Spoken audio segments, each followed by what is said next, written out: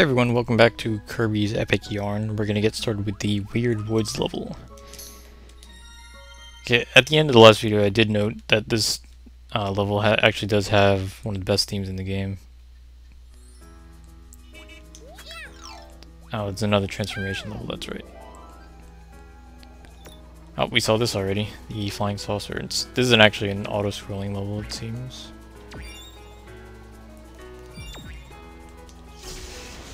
Yep, uh, if you don't remember, two the two button like does the abduction ring thing, and the one button after you abduct was it three objects does the uh, sh lightning shock. Very useful for clearing out loads of enemies, and watch out for those cannons there. You can't actually mess with those. Whoa! Almost got hit by that. Yeah, you want to be sure to have a uh, lightning charge for when, like, there's blocks that you have to destroy. Reason reason for that is sometimes there's going to be treasure there and stuff like that. So. Oh, I absorbed the arrow. Awesome. Because I was about to get hit by that. Okay, this is going to be a little tricky here. Oh, shoot. Oh, I got it. They counted it. It was just on the edge of the screen there. Okay, I had to do that. Actually, the treasure was here too anyway, so... that worked out fine. Ah! No! oh, I'm gonna get squashed. Oh.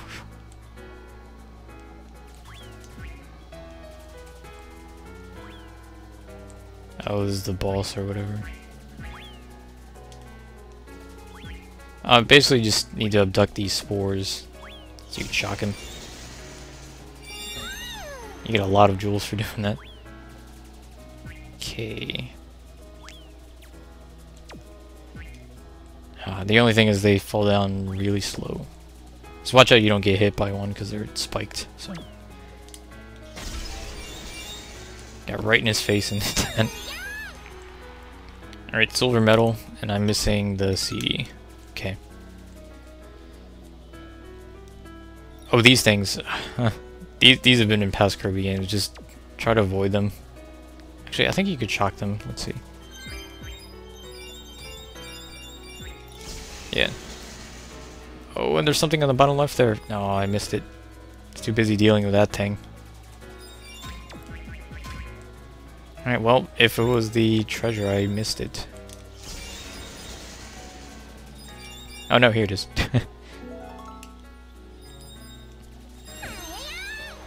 Alright, and we got the gold. So all we have to do is just kind of make it out unscathed. Oh wait, you can't abduct these, that's right. Try to sneak past them here. Oh shoot.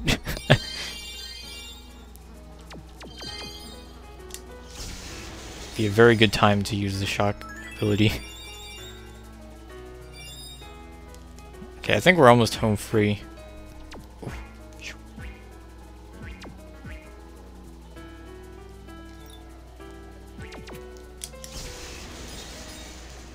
Yeah, I had to do that, otherwise that arrow would have landed on me.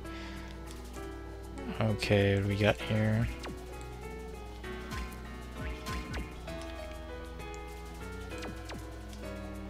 I like how that Waddle Dee like huddled in that corner. He didn't want to get abducted. Okay, I'm gonna save this just in case something something happens here. Doesn't look like there are very many enemies at this part.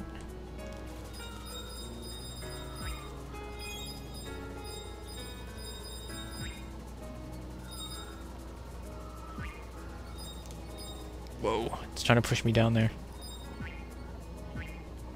Okay.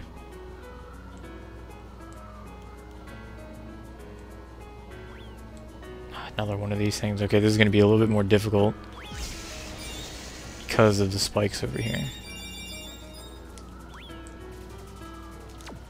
Okay, it's a good thing I did store that that uh, shock.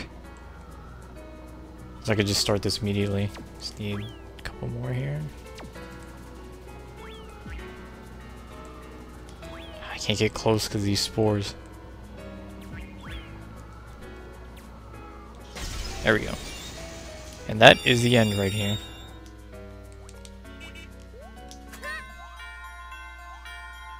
Yep, no bonus, but I had a lot of jewels at the end, so doesn't matter.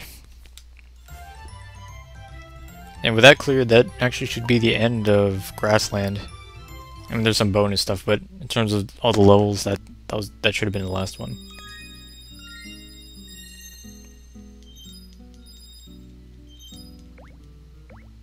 And we got all the treasures. Cool. I think it was only one level where I didn't get them the first time so far. Yep, that was the end of it. Alright, let's head to the next world, which is Hotland. It's like a volcano and desert themed one, if I remember right. Okay, or maybe it's just a desert. Because I know there's a volcano area. I don't remember if that was a separate world or not off the top of my head. Yeah, we're going to get started with Pyramid Sands in the next video. Thanks for watching, and I'll see you next time.